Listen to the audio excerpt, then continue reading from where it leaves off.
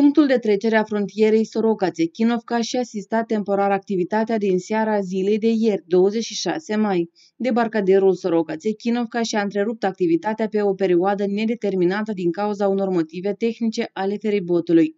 Din cauza unor defecțiuni este sistată și trecerea cu Luntrea. Activitatea Luntrei și debarcaderului va fi reluată după ce vor fi înlăturate defecțiunile. Călătorii care și-au planificat traversarea frontierei prin aceste puncte de trecere sunt îndemnați să opteze pentru alte puncte aflate în apropiere, Costăuți Iampul sau Otaci Mogilov Podolsk. Totodată amintim că trecerea frontierii de stat se desfășoară în condiții de pandemie. Astfel, persoanele care intenționează să treacă frontiera în țara vecină, Ucraina, sunt obligate să prezinte testul efectuat cu cel mult 72 de ore înaintea traversării frontierei.